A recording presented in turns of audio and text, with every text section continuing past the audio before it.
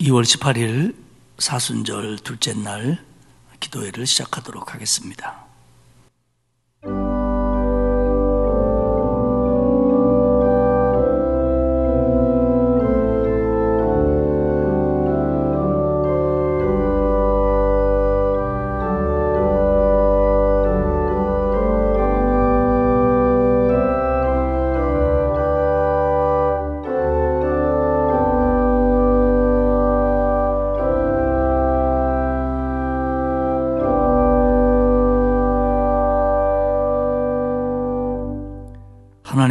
고맙습니다.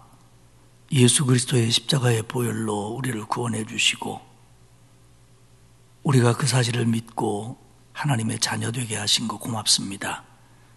주님의 십자가를 좀 더 깊이 묵상하는 사순절을 통해 주의 은혜 속에 더 가까이 가게 하시고 하나님의 말씀으로 무장하는 귀한 영성으로 무장하는 복된 시간들이 되게 하시옵소서.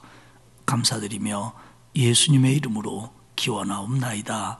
아멘. 588장 찬송하겠습니다.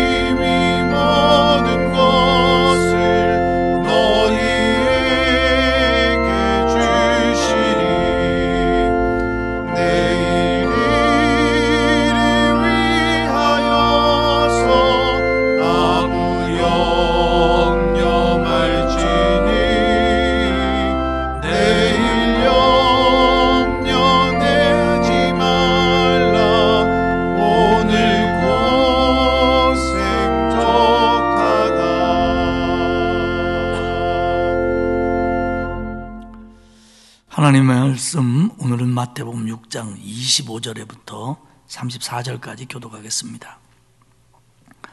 신약 성경 맨 앞에 있는 마태복음 6장입니다. 재성교훈은 8페이지입니다.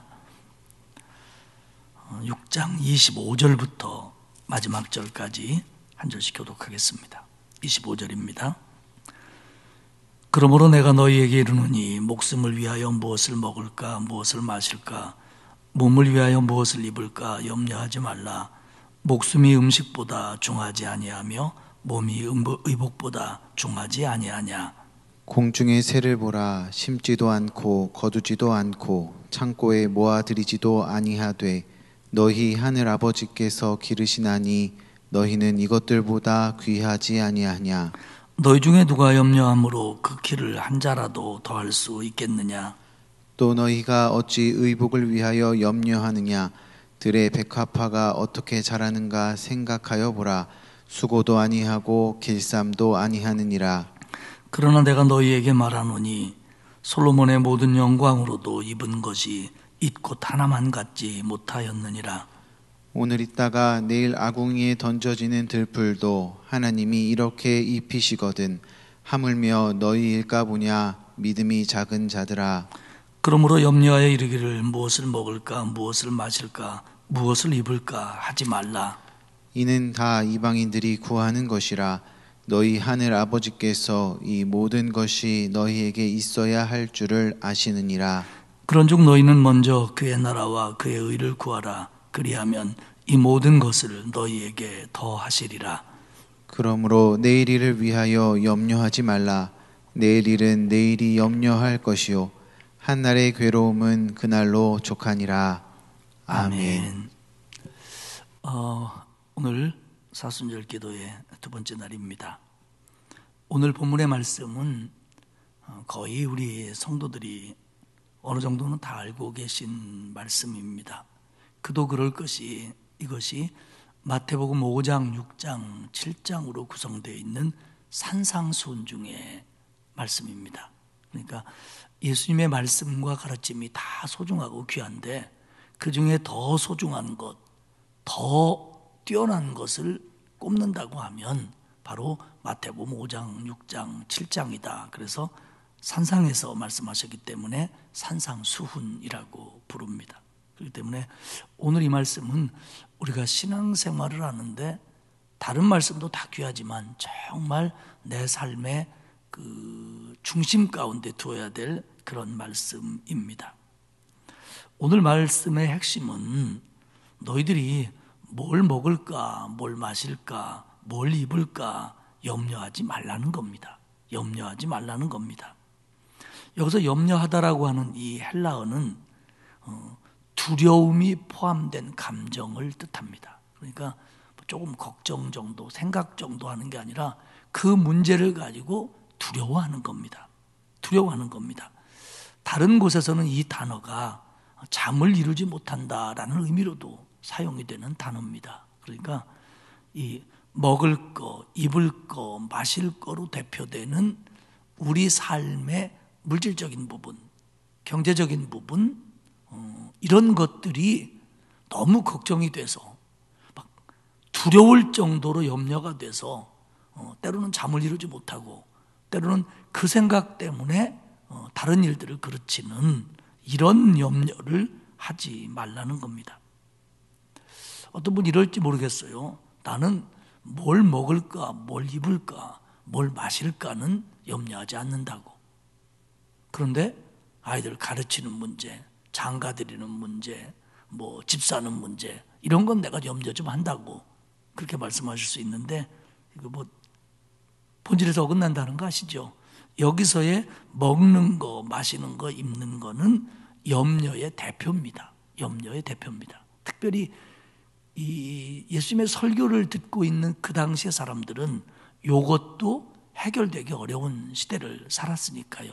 우리는 사실은 이 부분에서는 좀 어, 벗어난 삶을 살고 있습니다. 하지만 우리가 살면서 염려할 수 있는 모든 것의 대표가 오늘 나와 있는 먹는 거, 마시는 거, 입는 것일 뿐이지 그거에 국한된 얘기는 아니라고 하는 겁니다.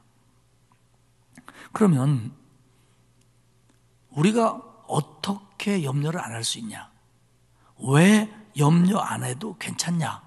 라는 답을 오늘 예수님은 주고 계십니다. 뭐라고 얘기하시냐면 몸이 목숨이 음식보다 옷보다 중하다. 이 얘기는 뭐냐면 하나님께서 우리에게 정말 소중한 목숨도 주시고 몸도 주시고 삶도 주셨는데 그것보다 중하지 아니한 먹는 거, 입는 거, 마시는 걸 주시지 않겠느냐. 너에게 생명을 줬는데 그 생명을 유지하기 위해서 필요한 걸 하나님이 안 주겠느냐. 하나님이 너에게 몸을 줬는데 그 몸을 위해서 꼭 필요한 것을 하나님이 맡겠느냐. 그러니 하나님을 믿고 염려하지 말아라. 입니다. 오늘 주제가 자족입니다. 스스로 만족하는 거죠. 자족. 근데 이 자족은 하나님께 대한 철저한 신뢰에서만 가능합니다. 세상이 얼마나 불안합니까? 또 얼마나 걱정되는 일들이 많습니까? 얼마나 위험합니까? 또 얼마나 우리가 내일 일을 모릅니까? 그러니까 염려도 하고 걱정도 하는 것이 사람으로서는 사실 어쩌면 음, 당연한 걸지도 모릅니다. 근데 이것이 기쁨을 깨고 감사를 깨고 만족을 깰 정도로 커서는 안 된다는 거예요. 그렇기 때문에 하나님에 대한 신뢰가 크면 클수록 염려는 줄어들고 하나님 앞에 맡기는 것이 구체적이면 구체적일수록 걱정은 가벼워진다는 겁니다. 하나님이 너에게 몸을 주셨다. 하나님이 너에게 목숨을 주셨다. 그러니 나머지 것도 줄줄 줄 알고 있어야 될 줄을 하나님이 아시니까 염려하지 말아라 라는 겁니다. 그러면서 예를 드셔요. 공중에 나는 새를 봐라. 그 새들은 심지도 않고 거두지도 않고 모아들이지도 않는다. 그런데 하나님이 책임져 주신다. 자, 심지도 않고 거두지도 않고 모아들이지도 않는다. 이거는 사람이 살기 위해서 하는 일들의 대표성입니다. 농경사회에서 우리가 살기 위해서 사람들은 심었고 거둡고 모아들였습니다. 그러니까 이건 기본적으로 하는 일들이에요. 그렇게 볼 수도 있고요. 또 하나는 이것은 어떤 물질에 대한 인간의 집착 과 욕망으로까지 나아가는 것을 설명하고 있는 내용이다. 이렇게까지 말합니다. 어쨌든 사람은 심고 거두고 모아들이기까지 한다는 거예요, 우리가. 그런데 새는 그걸 안 한다는 겁니다. 오늘 이 본문이 먹을 거 걱정하지 말아라, 입을 거 걱정하지 말아라, 살아가는데 아무 염려하지 말아라. 그러니까 너는 먹고 놀면 된다. 그 얘기는 아닙니다. 그 얘기는 아닙니다. 우리는 여전히 우리의 삶을 살아야 됩니다.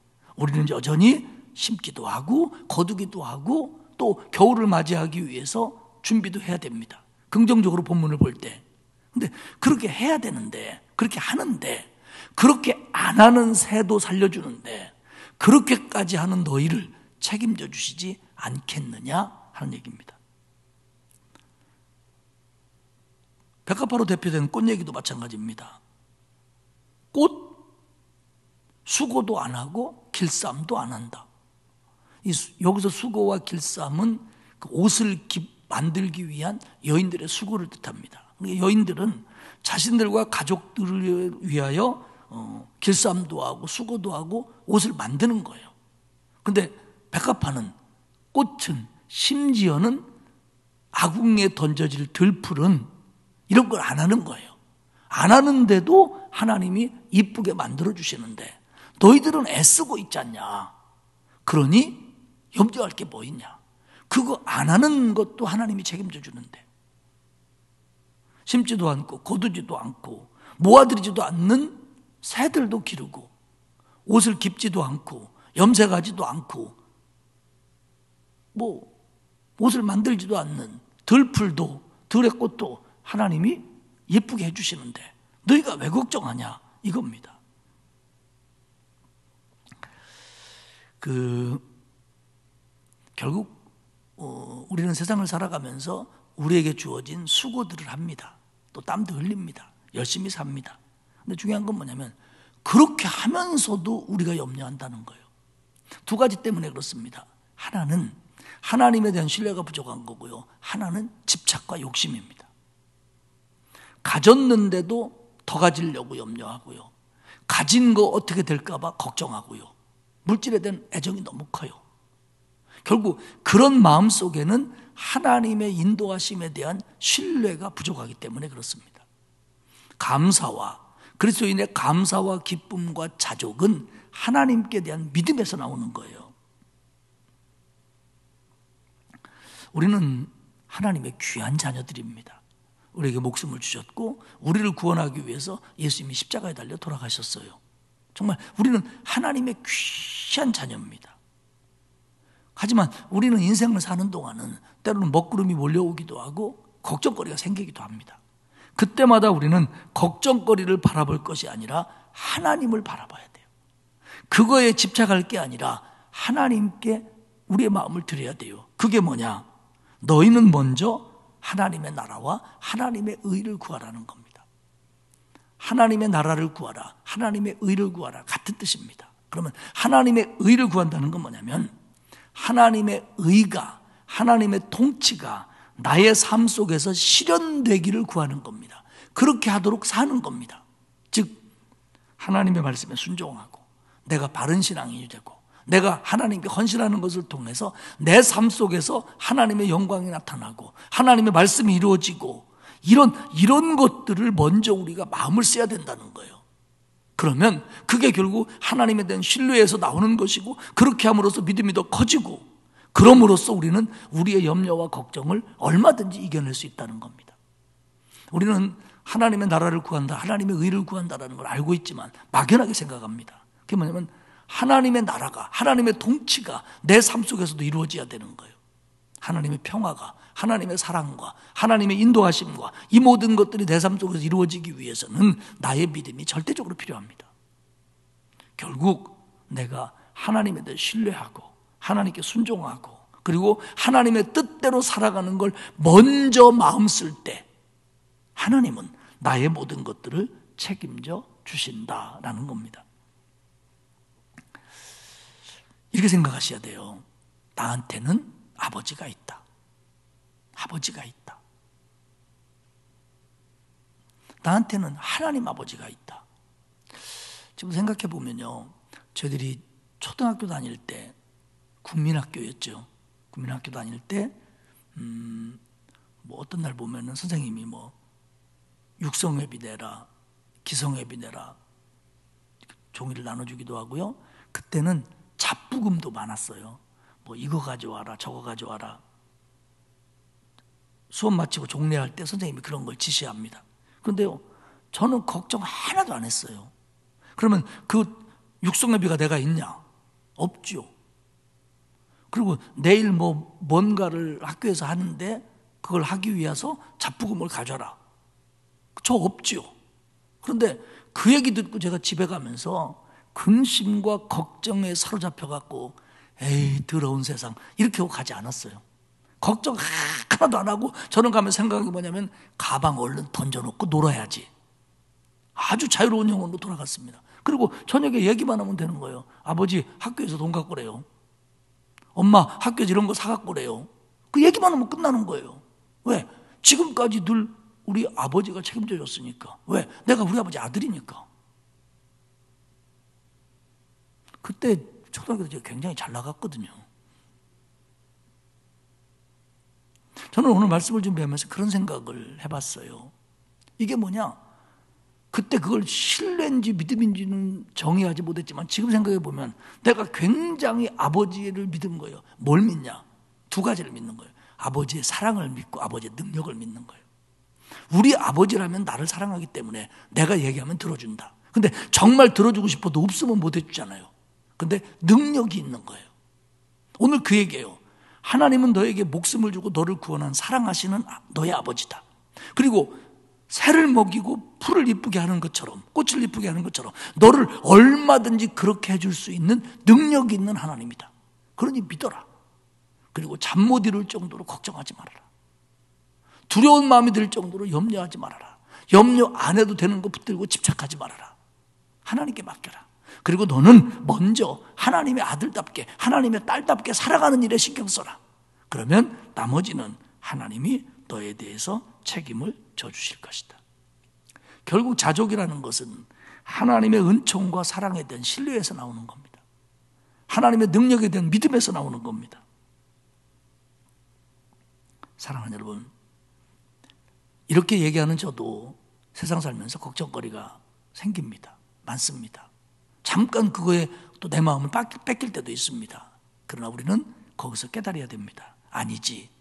지금까지 하나님이 인도하셨고 책임져 주셨는데 들의 새도 뭐 심지도 않고 거두지도 않고 모아들이지도 않고 수고도 안 하고 길쌈도 안 하는데 나는 그래도 그런 것까지 하면서 살아왔는데 하면서 사는데 거기다가 그것들을 책임지는 하나님이 계신데 내가 왜 염려하냐? 나는 열심히 살고 하나님의 영광 구하고 하나님의 의를 구하고 나는 이게 내 할 일이니까 하면 나를 책임지시는 건 하나님의 일이시니까 하나님이 해주시지. 그러면 그 하나님이 해주는 거에 대해서 기뻐하고 감사하며 자족하며 살아가는 거. 이게 신앙의 바른 모습입니다. 사실은 이런 거 깨닫게 하시려고 우리를 구원하셨잖아요.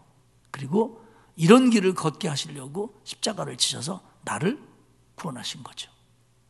다시 한번 하나님의 사랑과 하나님의 능력에 대한 어, 신뢰를 가지시고 하나님이 나를 인도하시는 것에 대해서 신뢰하시고 그리고 어, 그것으로 인하여 염려와 걱정을 물리치고 자족하며 하나님의 의를 더욱 구체적으로 구하는 저와 여러분이 되시기를 축복합니다.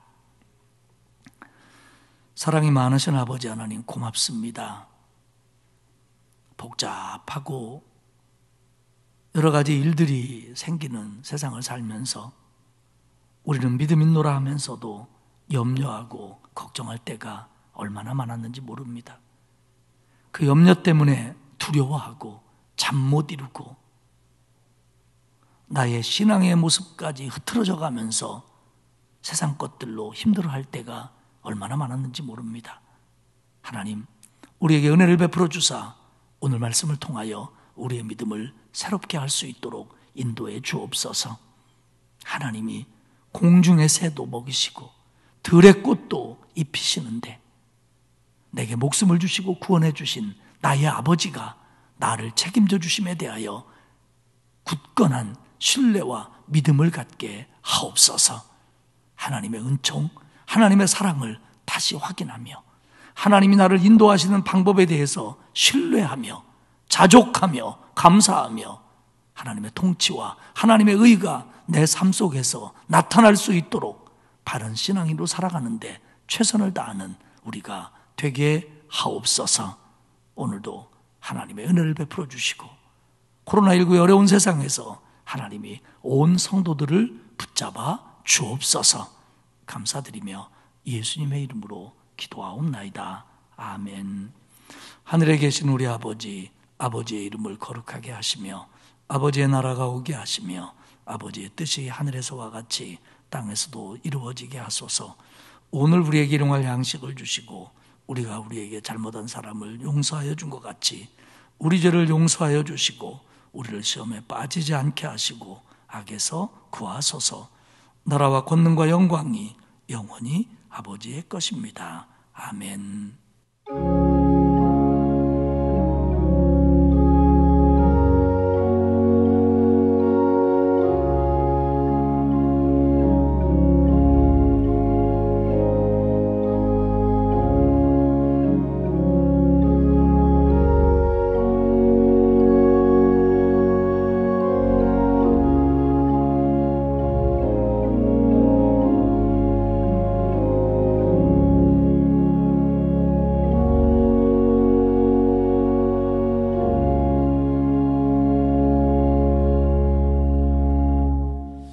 먹이고 입히시는 하나님을 신뢰하며 그 믿음으로 어, 근심 걱정을 이겨내게 하옵소서 이런 기도 여러분에게 이어지기를 바랍니다. 다 함께 기도하시도록 하겠습니다.